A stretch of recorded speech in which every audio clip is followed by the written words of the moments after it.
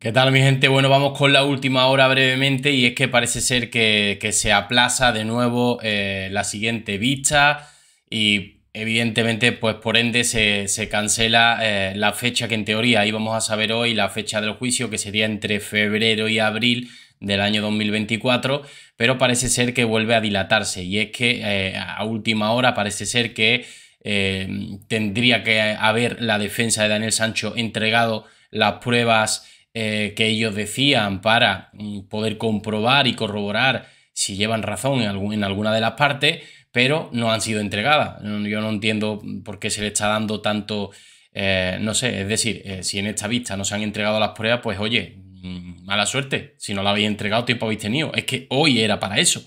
La verdad que sigo, sigo, sigo flipando con algunas cosas, o, o digamos con lo vehemente que están siendo con Daniel Sancho en este caso, se le podía haber dicho a Daniel Sancho, igual que se cometió el error la otra vez por parte de Tailandia, de no haberle dado un traductor en su lengua materna y se acogió a eso. Y es verdad que ahí metieron la pata la justicia tailandesa. En esta ocasión, los que han metido la pata, en tal caso, es el abogado, que no sé qué abogado es el que la ha representado, pues porque en teoría no tiene abogado.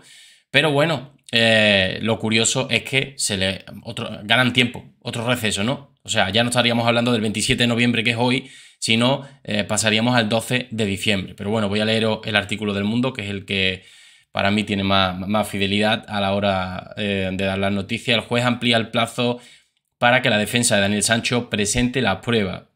Yo sinceramente, eh, el día era hoy, si no han presentado las pruebas hoy, demasiado vehementes, insisto, están siendo con Daniel Sancho. En la vista de hoy que se demoró unas tres horas y se celebró a puerta cerrada, bueno, el tema de la tardanza a la hora de empezar los juicios allí es casi habitual en Tailandia. Eh, la defensa no presentó la lista de pruebas como estaba previsto y el juez del Tribunal Provincial de Samui Sur de Tailandia concedió una última ampliación hasta el 12 de diciembre. Al final estos son eh, ganar tiempo. ¿El para qué? Pues bueno, lo que estábamos hablando el otro día con, con un perito judicial aquí en el canal, que tenéis los vídeos subidos, eh, y en el último directo que, vino, eh, pues, pues bueno, eh, quizás esté empecinado un poco Marco García Monte en llevarlo a la ONU hasta tal punto de que pueda ser el que lo defienda personalmente. Sería algo inaudito en Tailandia, siempre, siempre en Tailandia, independientemente de que la persona que está condenada o está digamos, al, servicio de la justicia tailandesa siempre se ha, sido defendida por un tailandés o tailandesa, con lo cual sería algo inaudito, ¿no? Sería algo, es verdad que el tema de que sea mediático puede empujar y ayudar, pero yo creo que en Tailandia mm, no van a, no van a permitir eso, pero bueno, en fin. Ellos lo intentan. El español Daniel Sancho, acusado del asesinato del cirujano colombiano Edwin Arrieta en Tailandia, ha asistido este lunes a una nueva vista ante el juez en la que se esperaba que se decidieran en la fecha del juicio y si los abogados de la familia de la víctima pueden personarse en el proceso, pero finalmente no ha sido así.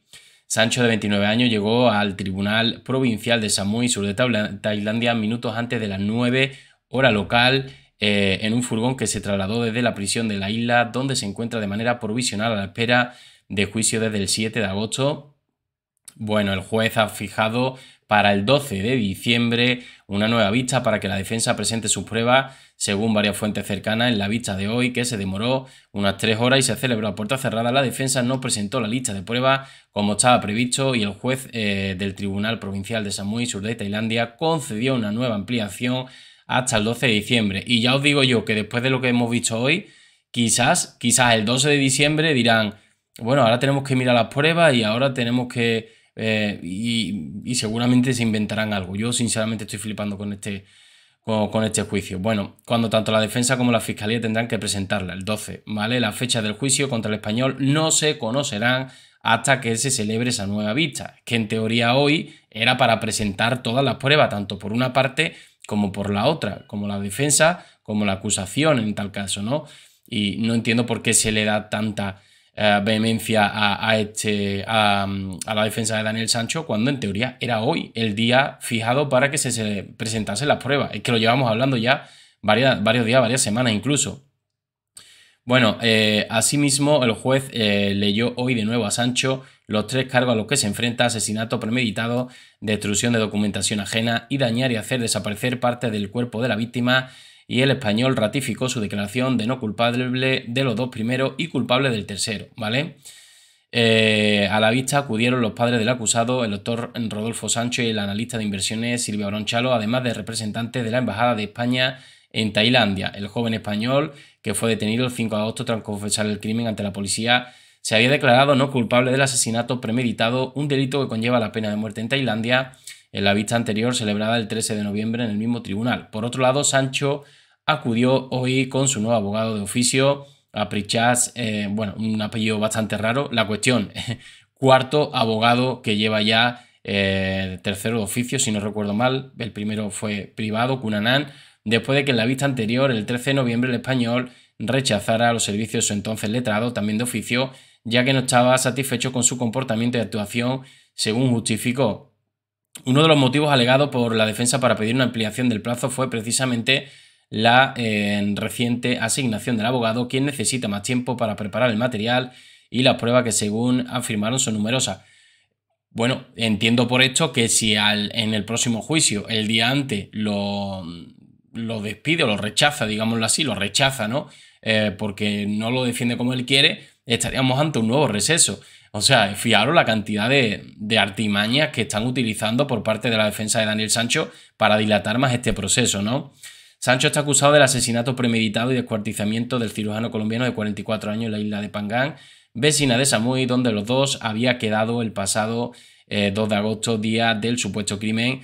El acusado juez eh, dijo al juez eh, el 13 de noviembre que la muerte de Arrieta se debió a un accidente durante una pelea, pero aceptó su culpabilidad respecto al desmembramiento y ocultación de las partes del cuerpo de la víctima. Bueno, exactamente así no ha sido. Según la policía, él también dijo que había premeditado, que había comprado las armas para ello.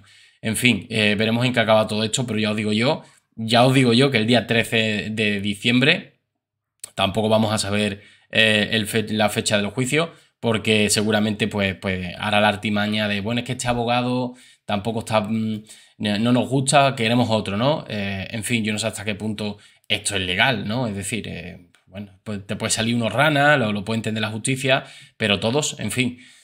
En fin, yo lo veo, lo veo un poco, un poco que, que se ve desde lejos, ¿no? Que, no, lo que no quiere mm, es que se llegue a juicio. Lo que quieren es dilatarlo y dilatarlo para ganar tiempo. No, no entendemos el motivo. Bueno, ya lo hemos hablado, que quizás sea para seguir llamando la atención mediáticamente y que sea Marco García Monte el que lo defienda, pero es que sería inaudito, sería algo que sucedería por primera vez en Tailandia en su historia, de que un abogado de fuera del país representase, eh, independientemente de que él sea español o no, eh, siempre los defensores eh, de las personas que han cometido cualquier acto han sido tailandeses ya sea de oficio o de pago, pero tailandeses, porque así lo dicta la ley de Tailandia. Es lo que decimos siempre. Marco García Monte entenderá mucho de cuando ha ido a Estados Unidos, a Inglaterra, no sé qué, no sé cuánto, pero es que Tailandia tiene sus propias normas y hay que. Eh, y muchos expertos han, han, coincidido en esto. Se tiene que adaptar a las normas de Tailandia, si no, mal vamos. Bueno, ellos mismos, ellos sabrán. Mi gente, nos vemos en el siguiente vídeo. Eh, receso para el 13 de diciembre. Eh, siguen dilatando el proceso. No sé vosotros cómo lo veis. Nos vemos en el siguiente vídeo con más información. Un saludo.